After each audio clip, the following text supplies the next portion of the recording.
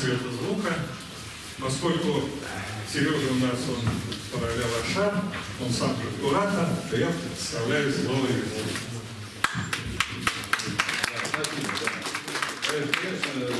Каждый из вас такой же параллельный шаг, как и я, поэтому надо так это смеяться, смотрите на себя. Вот. Но я хочу, чтобы э, слово сказал я, как я чего буду говорить. Все, что я, ну, я сделал, все, что послушать, я послушал. Впереди еще огромное количество музыки. Потому что главное на самом деле это музыка. Я в сторону отдаю,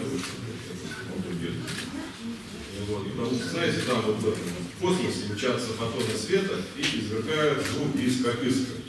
И все это вместе, свет и звук формируют Вселенную на самом деле. Значение звука в формировании Вселенной пока еще не определено точно, но оно очевидно. Поэтому я взялся, как бы, наверное, за эту проблему перевода звука в цвет, поскольку как художник я волнует цвета форма света, как сказать, название. Вот. А параллелошарка, она непонятна, пространство параллельное иным. Всегда помните, говорите за то, что больше всего мы охраняем внутри каждого из нас себя и не пускаем туда никого постороннего. В данном случае есть социальный аспект, это Пушкинская 10, который тоже является параллелошарным пространством, параллельным пространству государства. В то же время, поскольку это явление чисто социальное, это является коллективным произведением современного искусства авторами которых является огромное количество людей во всем мире, и не все, которые являются, как мы сегодня на этом выставку, вы тоже соучастники и участники создания этого коллективного произведения современного искусства. Я думаю, подобных еще не было.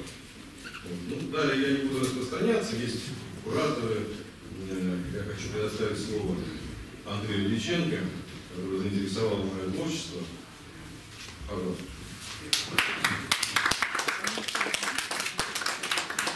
Сегодня замечательный зимний день, как раз для открытия выставки. И вот Сергей Викторович нам предоставляет своим творчеством совершенно уникальную возможность путешествовать по пространству и путешествовать по разным семантическим полям, будь то поля световые, цветовые, или звуковые. И мне сразу вспоминается средняя школа, когда нас заставляли чертить ось абсцисс, ось ординат, и говорили, что пространство трехмерное. А потом еще, когда проходили Герберта Уэллса, там был афоризм о том, что, что измерений всего четыре. Просто по линии четвертого измерения направлено наше сознание.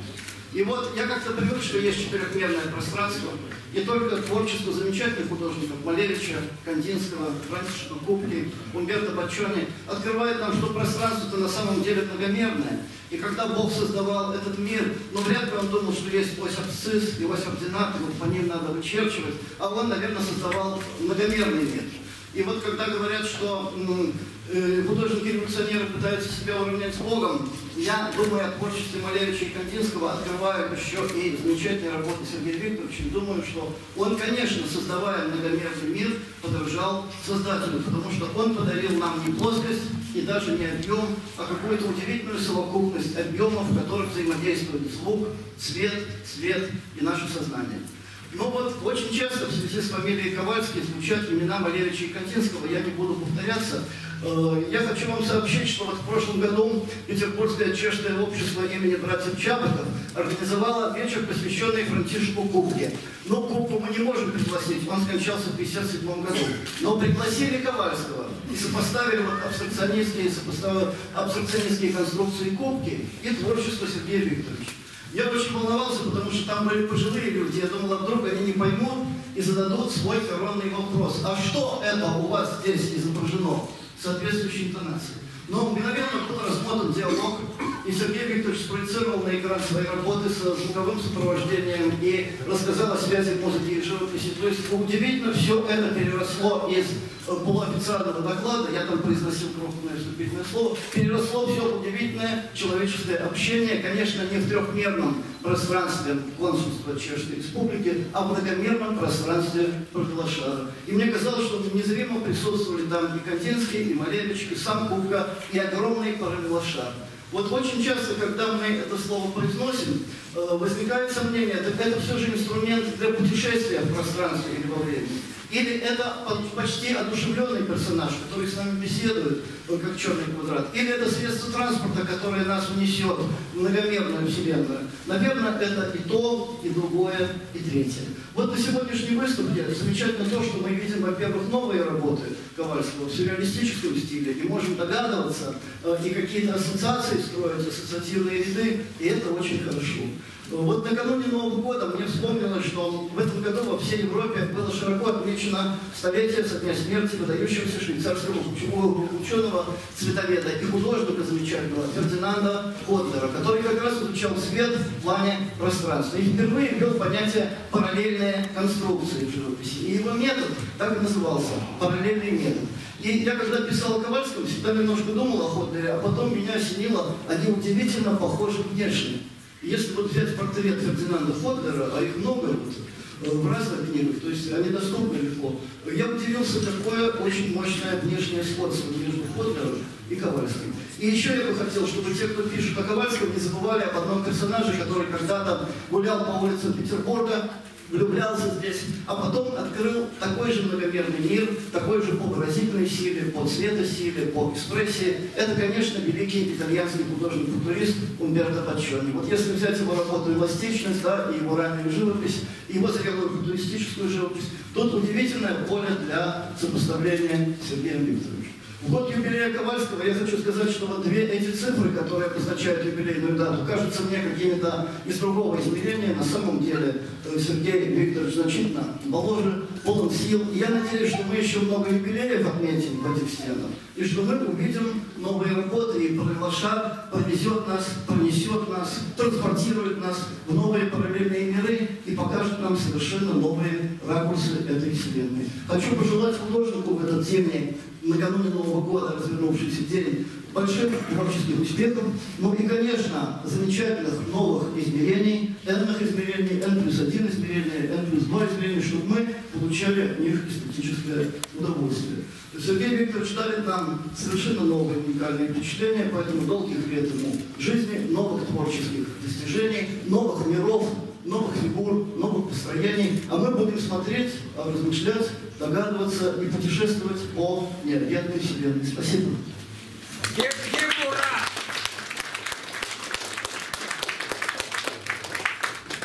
Ну что, слово я передаю соратнику, моему другу, э, начинателю этого огромного арт-центра, Шару Рыбакову Ивановичу.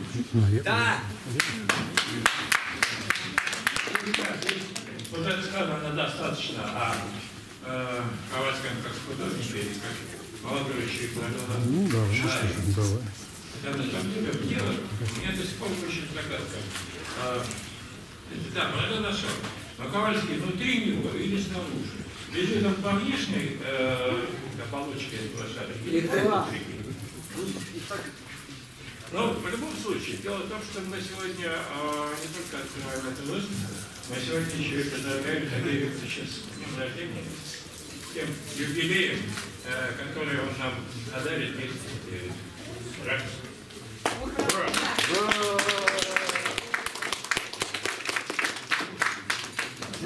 Ну что, держи, дорогой. Еще один соратник, да, 80-е. С юбилейным годом. Слава Сухороков. Чтобы кисточка стояла, чтобы у тебя все было.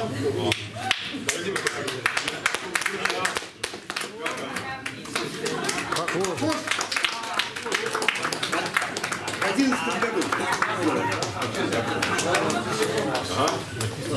Спасибо, дорогой. Тебе спасибо. Работай. И таскать теперь. Ну, я понимаю. Анатолий Васильев.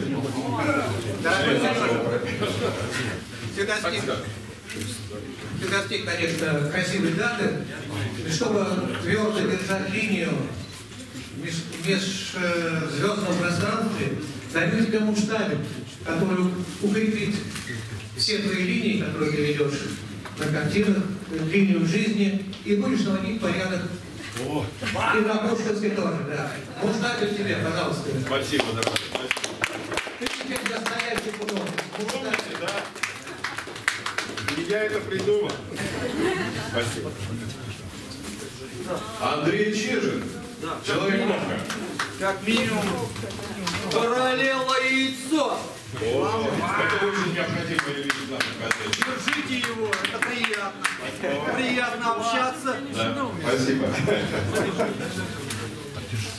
Ну что, все? А, Гена, ты хочешь?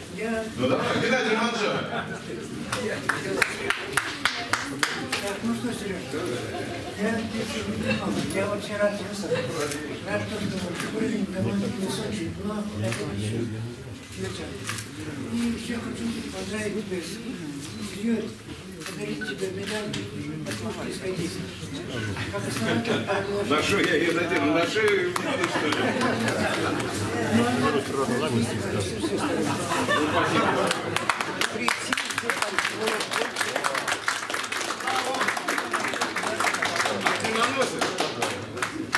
Спасибо. Очень большой командир. Мы не скажем лишних слов. Друг Сергей, будь здоров. Я хочу вам подарить новую книжку о группе «Бизнес», которой не было. Которая Это издание, на самом деле, два романа. Это подлинная история Битлз. И когда мы ее переворачиваем, мы читаем книжку, как будто бы Джон Леннон остался жив. Это фантастика. Нормально. С днем варенья вас, дорогой Сергей. Спасибо. От Сергея Викторовича. Круто. Господа, Да ну, что могу сказать я другие? В общем-то, ничего. Просто Юр Рыбаков и Сергей Ковальский сделали вот это, то, что называется пушкинское действие. И это сделали именно они. Поэтому спасибо им за это. Все.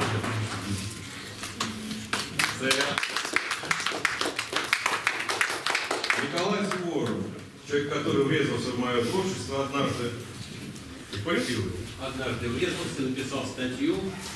Ну, я уже подарил Сергею сегодня свою книгу, которая, которая только что вышла. И э, она называется «Воображаемая как феномен культуры», но я думаю, что для Сергея эта тема хорошо известна, и ну, вряд ли ему нужно свое воображение расширять. Но я хочу сказать, что все-таки э, Сергей знаменит не только тем, что он художник, он, конечно, очень глубокий мыслитель, организатор, и, собственно, его мысли хорошо известны, они действительно становятся таким каким-то организатором, таким параллельно вращающимся, параллельно вращающейся вселенной, которая организует наши мысли, наше воображение, наше творчество и даже наше пространство, которое вращается вокруг языка. Сергей, с днем рождения. Спасибо. Ну что, есть еще желающие сказать какую-нибудь гадость? Давай. Александр Нечаев. Настоящий француз. Настоящий француз, принят во Франции, принц глав Клико, вот такой блестящий, выставка, вот серьезно,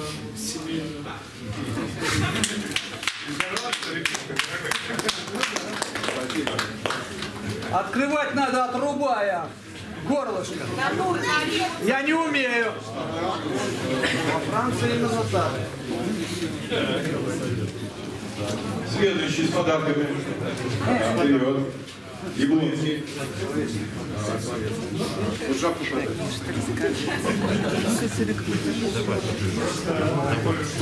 Французу имеет большое значение тот факт, что сам Сергей Николаевич имеет некоторые польские корни. И я, как журналист, давно связанный с Польшей, с польскими средствами информации, делал публикации и здесь, и в Польше о, об этой личности, о его творчестве, об арт-центре Пушкинская 10. И поэтому хочу подчеркнуть, что он вообще очень огромную роль сыграл э, в пространстве петербургском или российско-польском э, в области вот современного искусства очень много программ всяких, много событий было, выставок. И там, и здесь организованы поздравляю с польского направления пана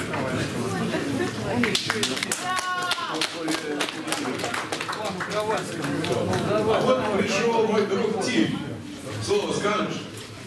Ну а как же, ну, ну, я по какой-то линии магической успел, успел добраться. Тим, Валентин Борисович. Сергей, Легендарная это фигура питерского андеграунда. и французского. очень особенный у тебя праздник. И картинки у тебя очень особенные. Потому что вот с чем-то очень своим ты пришел сегодня. С праздником всех! Милые дамы и господа! С праздником вас всех! С Праздником Сергея! Спасибо. А теперь Дима Северюхин скажет слово. Любит он это дело. Да, это Это тоже, э, дорогой Василий, я ездил, ехал полтора часа по Невскому проспекту. Идем вместе! искал Пушкинскую вместе, мы вместе пошли. Это был большой путь у нас с Самариной. Мы поднимались по лестнице, и до этого шли. Дорогой Сергей, а ты умеешь удивлять, и самым э, удивительным в тебе есть твой творческий путь. Э, Я очень хорошо знаю твою биографию, поскольку я там о тебе писал, сейчас я тебе пос- м, дам то, что я тебе написал, на самом деле. тут И- сначала. Э, Да, да, не видели, да. Вот. Но удивительная биография, удивительное творчество, и э, это я даже совершенно не шучу. Ты один из таких замечательных активистов э, культурного движения и андеграунда, и современного культурного движения. Человек очень свободный и независимый. А, а, к несчастью для нашего искусства, ну, там, отечественного искусства, к несчастью, очень мало художников, которые э, являются людьми свободными, свободными и в общественном поведении, и свободными в творчестве. Вот э, я думаю, что ты один из таких примеров очень свободного поведения, но не, не неприличного, конечно, а очень в хорошем смысле свободного поведения. Хотя, наверное, все в твоей жизни бывало, я догадываюсь. И, дорогой, я поздравляю тебя. Книжка здесь у меня в пакетике. в- Она почти что про тебя. Обратно него нет, да, уже публично, свидетели будут. Да, две, две, две были, да. Я тонкий не пишу. Пишу, я там есть, что ли? Тебя там много, много там. Там тебя. Три века, ребята, столько не живут. От Первого до Ковальского. Спасибо. Ковальского. Э, Слушай, Дима, Дима, микрофон. Светлана Булгакова. Вы тут только что сказали о свободном, э, свободном поведении, а я как хочу сказать, что свобода очень э, проявил себя вот в годы 50-90-е, когда э, вот это все, всего чего ничего не было, а только еще предстояло всему этому быть, когда не было ни света, ни э, отопления, ничего. И вот Серега э, проявил такие качества бойцовские, настойчивость, целеустремленность. И благодаря вот этому появилась, появилась вот эта Пушинская здесь, это то, что мы здесь находимся, и здесь происходят выставки, это очень благодаря именно Сергею. И он бы, да, Не только мне, и моим друзьям. кто-то еще, может быть, я не знаю, тех, кто участвовал, но вот он максимально участвовал. Него бы точно этого не было. Вот за вот эти его качества, что кроме того, что художника умеет рисовать, он еще очень здорово умеет отстаивать цели и задачи. И вот все, должны сказать громадное спасибо, что может здесь проводить выставки, здесь можно наслаждаться творчеством творческого Спасибо. Георгий Зырин. Переплати одного. Добрый вечер, дорогие друзья. Вот, если говорить о современном искусстве, то с точки зрения, наверное, э, как явление, то без него бы, без Сергея, я имею в виду, была бы ниша какая-то пустая. Вот, а его удивительная чувственность во всех этих самое главное, э, симфония джаза, это вот что-то необыкновенное. Я рад, что мы сегодня его близкие друзья собрались. Я рад тому, что здесь и мои близкие друзья тоже рядом. То есть, Сережа, ты ж наше все. Спасибо. Тяжелая ноша такая. Да. Слава Иван. И победа. Победа. Иди сюда, сюда, сюда. Мы все-таки пробились, поскольку подарок у нас самый дорогой в долларах. И я, значит, представляю свою жену Победову над Солнцем, которая член-корреспондент Российской Академии Художеств. И вот она изваяла такой параллело-шар в оптическом стекле, в котором сейчас никто в России не работает, потому что это слишком дорого. И вот этот параллело-шар дарится соавтору, поскольку идея параллела шара его, э, Сергею Ковальскому, который может выставлять его в любых своих выставках как, как соавтор. Ну и сертификат 12 тысяч долларов стоимость этого параллельно шара. Я богат. Если будет продавать. Но я хочу поздравить Сергея даже во-первых, не с юбилеем, а с инсталляцией на этих двух залах, которые совершенно гениальны с моей. То есть я ее с утра сегодня все тщательно мы с победой просмотрели. И так как представлена эта прекрасная живопись, которая к тому же имеет еще огромную философскую базу, ну просто рядом ничего не стоит. Сейчас параллельная выставка идет. Павел Филонов. Люди пируют за длинным столом и кидают объедки собакам. Через ткань несуществующего времени проступают очертания их следов. В каждой грануле света отражаются лица и морды, но их нет. И не было никогда. При удачном повороте взгляда обнаруживаю себя, которого тоже нет. Филонова пустота, состоящая из светлых и темных частиц многоцветной человеческой жизни, которые, притягивая, отталкивают друг друга, напоминает о том, что ее не было. Вот жук пролетел. Он тоже не виден и не слышен. To be or not to be.